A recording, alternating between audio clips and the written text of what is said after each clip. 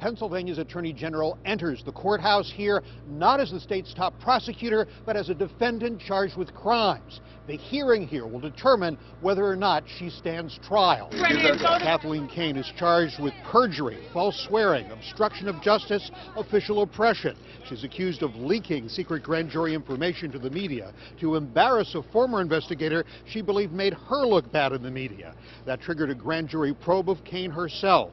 She's accused of lying under oath to that grand jury and of ordering aides to illegally access files to learn and track what the grand jury investigating her was up to. Kane says she's committed no crimes and she won't resign as she fights the charges. The Kane preliminary hearing begins here in less than an hour.